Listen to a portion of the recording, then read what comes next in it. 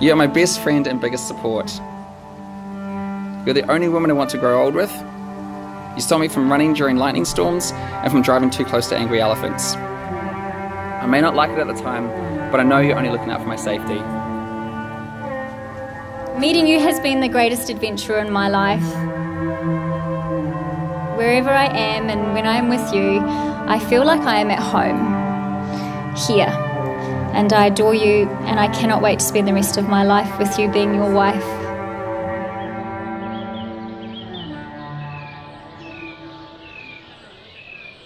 It's been a long, long time in saying welcome to the family, Sean. We've been waiting a long, long. It has been a long time, Sean.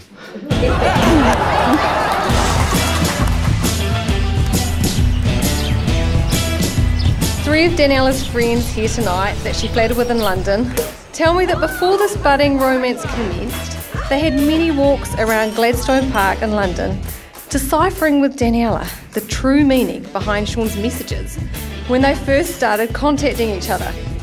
Were these messages just friendly, or was there something more? But as soon as Daniella spotted Sean's pearly white, perfect teeth in Dubai, for her, it was a done deal. I've actually still got Sean's ring. I didn't trust him with it out there, so I've kept it. First saw Daniella when I was 11 years old on a cadet camp.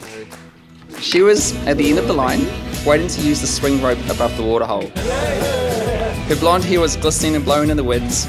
Maybe not literally, but that's the way I choose to remember it. Wearing her black and white onesie and looking gorgeous.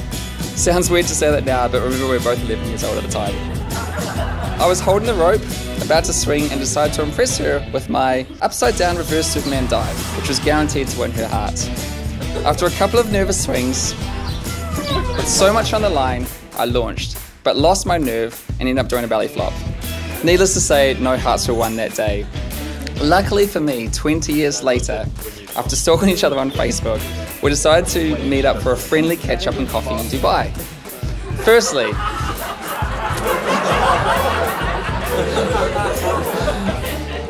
Firstly, no one goes to Dubai for a friendly catch up. And, and I didn't drink coffee at the time. I really didn't. Uh, so after a couple of awkward days trying to suss each other out, I needed to hold her hand for a busy crowd, and then didn't let go for an unnaturally long time. The secret was out, but maybe there was more than just a mutual love of Dubai coffee. During that week, I decided I would marry Daniella. Sean, I've only met you a handful of times, but I see you make Daniella really happy. Um, we've always needed a reason for her to leave London, and you were it. You've changed her in ways we never thought possible, i.e., she's taken up running. Might I add, still in shock, this was not her forte. You came into my life and completely changed my world, literally.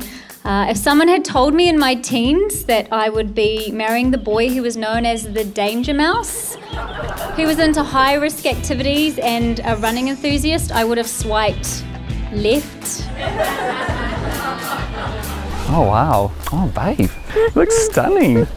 As some of you know, I'm a bit of a late bloomer and uh, a bit slow on the uptake when it comes to love. So when I met Sean again at Dubai International Airport in July 2015, I just knew he was the lid to my pot. when I had actually accepted that, that I might be a frying pan.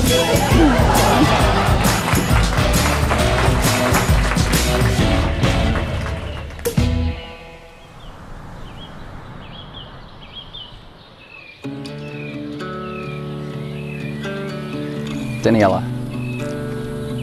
I love you and you're my best friend. I promise to encourage you, inspire you, laugh with you, and be a safe haven for you. I will dream with you, celebrate with you, and walk beside you through whatever our lives may bring.